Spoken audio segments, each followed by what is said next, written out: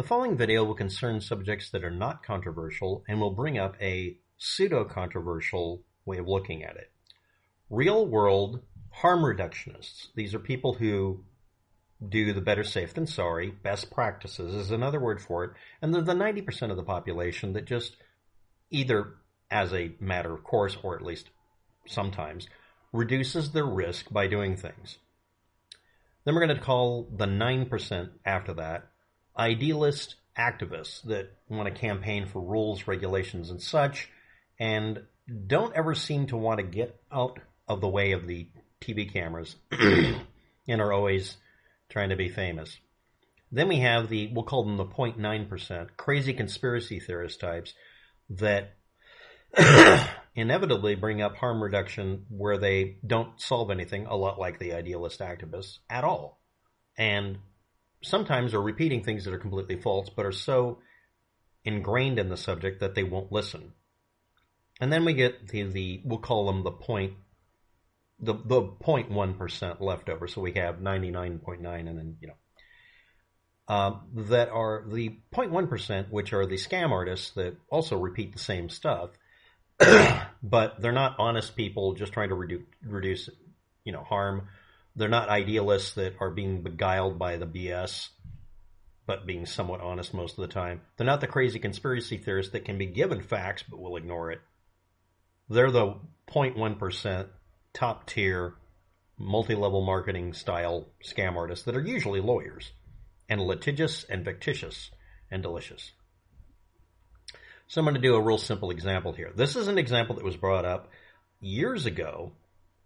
Um, 2008 or before, long time before, what's more safe and effective for shielding you from electromagnetic radiation and electromagnetic fields and whether you can make money off of it? Speakerphone mode that was introduced in, I don't even know which cell phone, a long time ago, so that you're nowhere near the transmitter built into the cell phone. Is that harm reduction? Is it an idealist activist thing or a crazy conspiracy theorist thing where they run around yelling about street lights being death rays? Or the idealist activists that say there ought to be a law and then campaign endlessly even if the law is passed because nothing is ever good enough for them? Or the 0.1% that said everything's lethal including your toaster? No, I'm not joking about that. What about a long plastic tube that goes from the cell phone to your ear to an earphone plug that's literally just audio, and you push it in where the headphone jack would be, and then would push in and push the pins out of the way so it disable the speaker and microphone. But it pushes in a little further and goes into a little speaker that it activates because there's no conductivity between these wires here. And it feeds it in as audio. It's slightly lower than the intensity down here, but you can jack up the volume. and you use the microphone on the cell phone and you just keep it 18 inches away from your head instead of one inch away from your head because it's on the back of the cell phone. Doesn't matter how thin the cell phone is, we estimate it one inch. Okay? That's a one inch to 18 inch. Every time you double that one inch, you reduce it, you know, square cube law or whatever. Here we go. uh, what about it plugging in instead of that into your headphones? Just make one yourself out of a, a dead earphone earbud just take out the parts and use this as an audio scoop for it to feed into your ear. What about using a um, Bluetooth headset, which has much, much less energy needed to be used for radio signals rather than the back of your cell phone? Remember, the entire body of the cell phone, the screen, which has conductive material in it, all of this has the effect of blocking the signal from that antenna on the back. And in the old days, it was a wire whip antenna. Now it's a, um, a fractal snowflake antenna kind of thing. It's pattern on the back. What about using just the headphone cable and putting an RF bead at the headphone plug? You wrap it around in a circle like this, and then right where it does this loop here on the top there, you put an, a radio frequency bead that keeps it from being able to send a radio signal along it. It reduces it down like hundreds of times. or just use a conventional shielded cable for the microphone and a conventional twisted pair wire for the headphones and the bead, which is the uh, uh, the audiophile version of the headphones. That's literally it. It's also much stronger. They don't rip out as much. These things are kind of annoying and cumbersome, but they're really, really cheap. And that bead would make them a, a lot less radio signal than a Bluetooth, but not less than this plastic tubing that was used originally in the 1800s for hearing aids. They're also still used to hide that you have a hearing ear feed in if you're a security person. You see them in the TV shows all the time. or you could use um, multi-dimensional quantum harmonizing transversal field longitudinal wave neutralization MRET molecular resonant effect technology, Biotron BioPro chips for automotive and cell phone usage, and again toasters, by a company that also made BioNutronic and BioProduce smoothies in a multi-level marketing scheme run primarily by people who claimed at one time to be lawyers who would sue the crap out of you for giving a negative review. See also negative reviews that happened within a year when they all figured out that you can't sue people into shutting up. They're just going to yell louder. Barbra Streisand never occurred to them. Let's talk about absorption and attenuation and blocking in meat. You. High electrical permittivity materials absorb and block microwaves. That's the idea of putting a shield in your pocket and then putting the cell phone on the outside of the shield and then running that or just using speakerphone and using the air gap. Lower microwave frequencies allow a deeper heating effect for industrial microwaves because lower frequencies go deeper. Higher frequencies can't get through stuff. It's not the other way around. It's literally that's reality. That's what you find when you actually do these tests. Since the 70s. Since before cell phones existed. If you believe in some conspiracy based on money or whatever, you'd have to go back very, very far and you'd still find nothing but the same answers. The higher frequency, the less deep it can go. the 12 centimeter wavelength microwave radiation dielectric energy absorption polar molecule based rotation inducing thermal energy in an oven acts on the outer 25 to 38 millimeters or under one and a half inches of depth. If you're using 2.45 gigahertz in 2006, when people would say this was what cell phones were doing, that was only used in China, maybe. 2006 version of the articles on the subject show that, that that frequency grouping that people said was exactly the same as a microwave oven was not being used in North America much at all. So, I mean, for cell phones at least. So, but that's what they want you to think. No, no, no. Caps locking and pounding being the 0.9% here of crazy people that we don't, we're not going to listen to because you were duped by that 0.1% of the hucksters doing snake oil. They created a fake problem, produced a fake product to cure it, and made a bunch of money.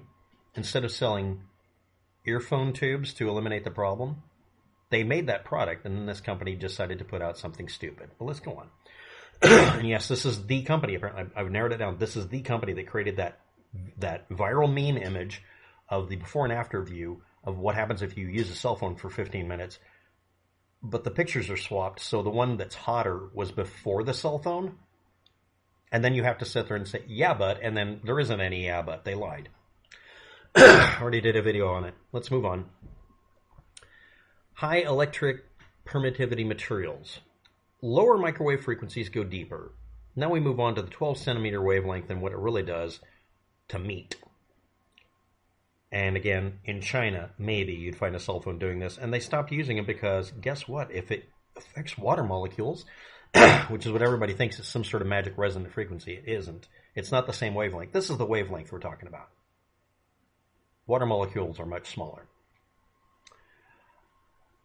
water and fog would screw up the signals. And at the time, they wanted to they wanted fewer towers and put them further apart. Now it's the other way around, so that they don't have to use those frequencies. So let's move on.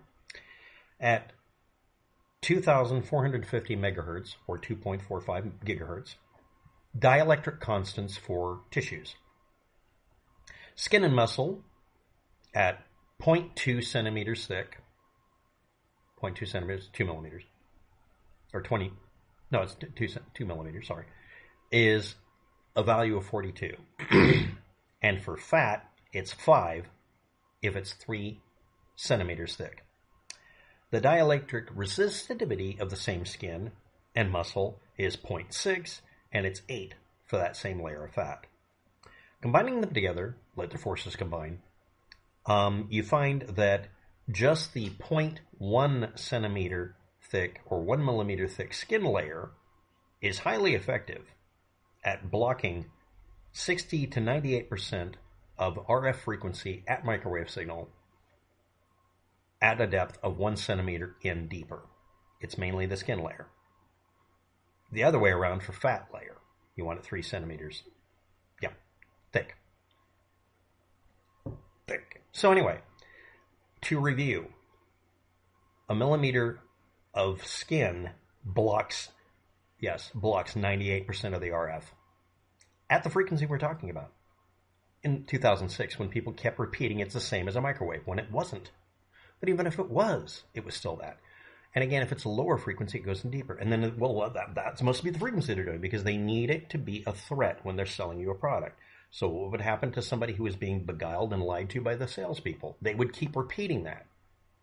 Okay, that's a valid argument.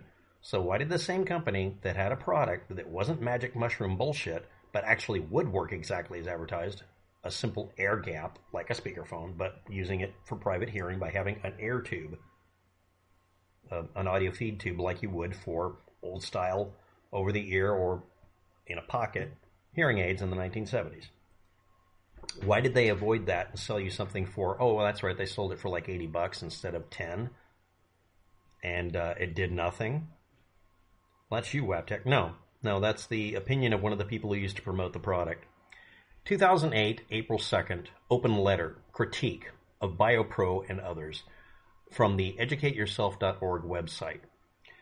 Dr. George Carlo of the Safe Wireless Initiative in Washington, D.C., you know, one of the people that promoted fear mongering at one time about cell phones, and maybe even today, who knows, stated that in 2005, Igor Smirnov, BioPro, and MRET technology in general were presented to him and the uh, Safe Wireless Initiative out of Washington, D.C., using fabricated science data to leverage and sell its wares and to gain a working alliance with their group. we did not make it a priority to perform a proper due diligence with independent testing. You mean your job? We took it and BioPro and Smirnov at their word and at face value. After we completed independent testing and evaluation, there was no doubt that the BioPro technology and by nature MRET and Igor do nothing of what they claim. The alliance with BioPro was severed, etc. BioPro and the others. Yeah. Please accept my sincerest apology for any harm this misrep- misrepresentation has caused you. It was indeed one of my most regrettable professional mistakes. I deeply regret the misleading message that is portrayed in a video that is now of a life of its own on the internet. It went viral. It's propagated by a BioPro people trying to sell products that have no independent scientific support, which apparently was important to this person at the time, and probably still is their pyramid type business dreams instead of schemes. Notwithstanding. Now that's an abbreviated version of their of the letter from the person. You can go read it. I've archived it so it will not go away. Next, you can look up the 1972 Twinbrook Research Laboratory Microwave Energy Absorption in Tissue Report, page 21, and before. You can look up microwave ovens and principles and how they work and all the other data I'm quoting. You can also look up my previous video, Thermographic Head Images Lacking Citation, Source, and Reference, or explaining the color correlation in a thermograph that had nothing to do with cell phones because, again, they put them in the wrong order. The hotter image was the before image, not the after. Why did I do this video? If you're that percentage that keeps repeating things in the comment section based on stuff that's been debunked by a majority of the people involved in science. You were lied to and scammed. And you keep promoting stuff that in some cases is from a company that went out of business so long ago, I have no problem saying the word fraud and the company name at the same time. Because they sue the crap out of you for reviewing their products. The stuff's still available on Amazon. It's sold much cheaper, I hope and it's sold mostly because it's just something that someone got stuck with because it was a multi-level scheme selling basically plastic chunks of chips. Thanks for watching. Have a good day. Good luck.